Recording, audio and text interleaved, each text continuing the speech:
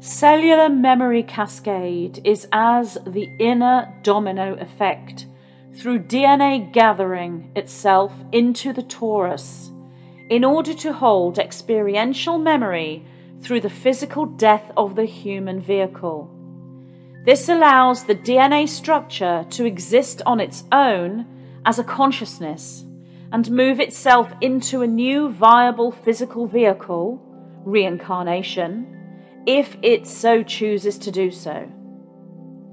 Yet cellular memory cascade occurs also within an ascension process.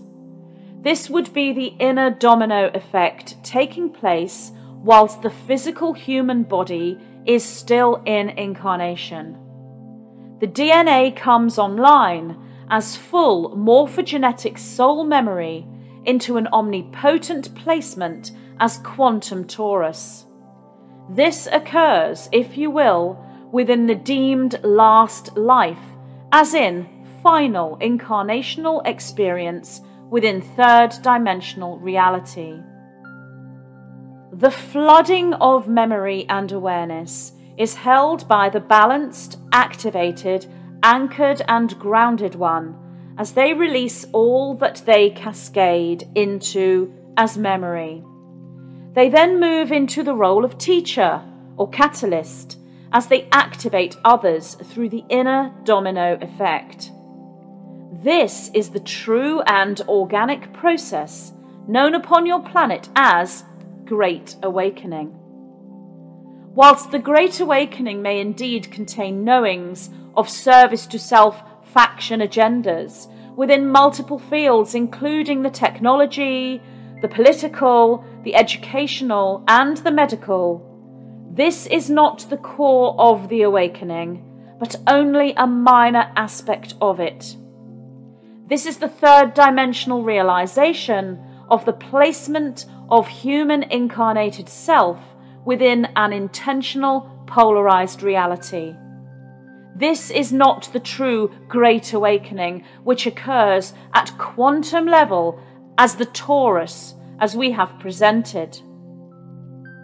The true Great Awakening is the realization of self as the God Creator Creatrix moving through crystallar coded fields from doppelganger double helix into Trinity helix as the sacred trine of the rose into the omnipresence of the infinite helix.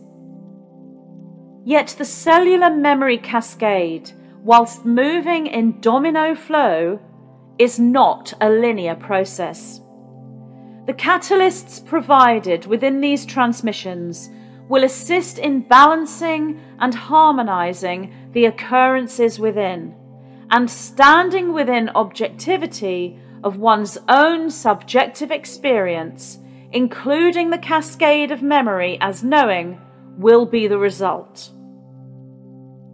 When the relaxation takes place within the intellectual understanding of all being as it should be, awareness of the hijack without fear as one stands within one's own sovereign empowerment, then one holds the confidence that one can indeed not only do this, but teach this to others, thus adding oneself and one's experience into the domino effect and becoming part of the collective cellular memory cascade itself.